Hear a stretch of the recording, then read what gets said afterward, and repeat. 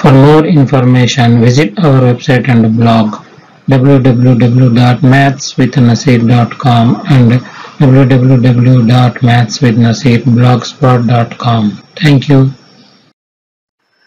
Now we are going to solve think and discuss page number 286 chapter 11 trigonometry. Observe the given table.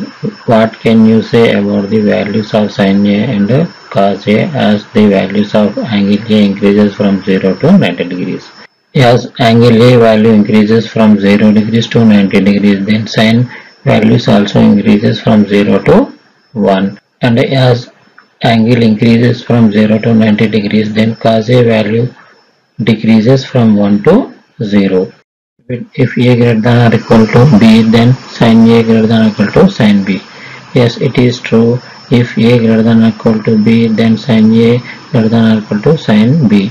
Since as A value increases from 0 degrees to 90 degrees, then sin 0 is equal to 0, sin 30 degrees is equal to 1 by 2, sin 45 degrees is equal to 1 by root 2, sin 60 degrees is equal to root 3 by 2, sin 90 degrees is equal to 1.